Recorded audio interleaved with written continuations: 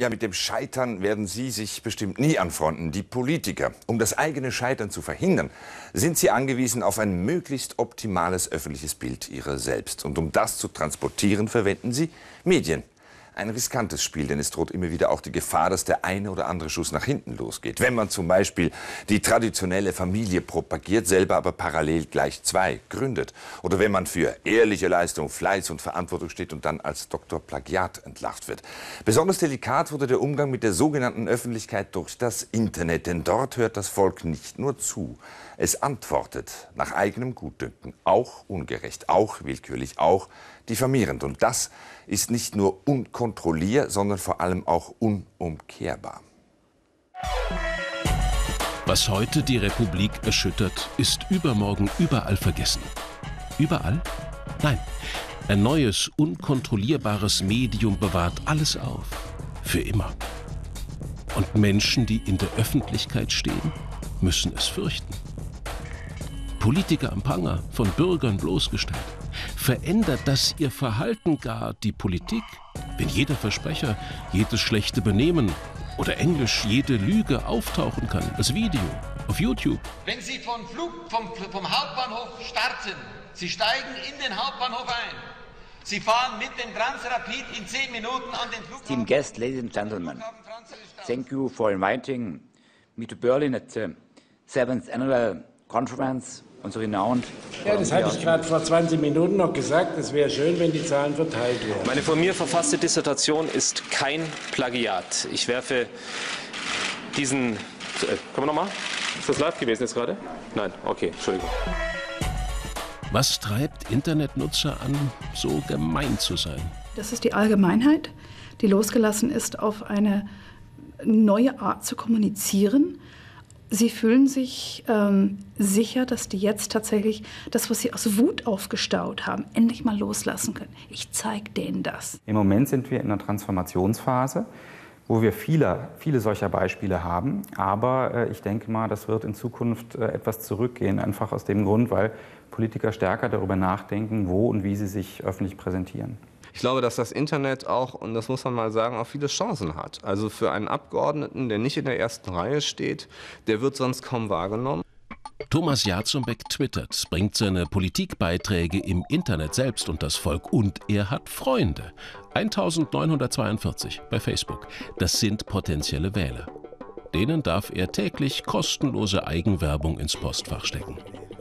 Hat er keine Angst, auch mal Opfer des Internets zu werden? Ich glaube, als Politiker muss man eines tun. Man muss eben auch selber sehr viel im Internet präsent sein. Und ich glaube, das passiert irgendwann jedem, dass man negative Dinge im Netz stehen hat, weil jeder auch schon mal Fehler macht. Äh, muss man also selber auch sich darum kümmern, dass auch die Erfolge und die Dinge, für die man einsteht und die Gründe, warum man auch gewählt wird, äh, dass man die halt eben auch präsentiert. Er war der Medienliebling und ist schließlich auch über das Internet gestolpert. Nach dem Rücktritt kam zwar die Facebook-Seite Wir wollen Gutenberg zurück mit über einer halben Million Unterstützern. Genutzt hat's nichts. Es gibt ja Agenturen, wo man sich Facebook-Freunde kaufen kann. Und es gibt Agenturen, ja, natürlich es, es, gibt alles im Netz und deswegen ist ja auch die Frage, es ist, ist egal, wie viele hunderttausend Leute äh, äh, Freunde von Gutenberg äh, sind im, im Facebook, das, das ist egal. Das Wichtige ist, was wird darüber kommuniziert. Deborah Weber-Wulff hat die Gutenberg-Plagiate und in der Folge die von anderen Politikern mit aufgedeckt. Hat das Netz nun die Macht, Politiker zu stürzen? In dieser Kombination, in einer Art medialen Arbeitsteilung zwischen alten und neuen Medien, ist es eben zu dieser Eskalation gekommen. Und äh, das hat letztlich dann einen veränderten Skandalverlauf herbeigeführt, der unter dem Einfluss nur der alten oder nur der neuen Medien so vermutlich nicht stattgefunden hätte.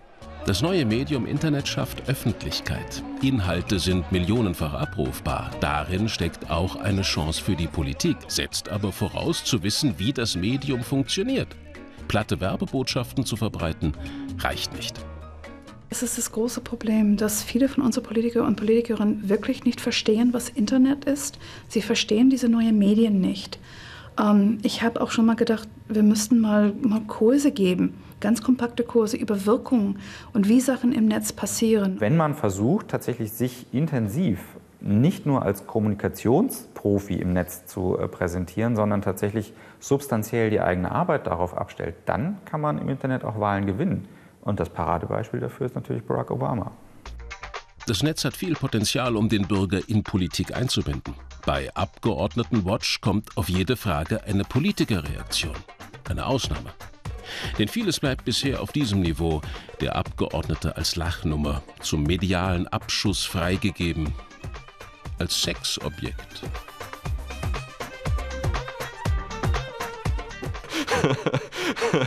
ja, also, was soll man dazu sagen, ja? Noch vertreibt das Internet den Volksvertretern die Lust an der öffentlichen Kommunikation, doch gerade dafür könnten sie es nutzen, wenn sie es könnten.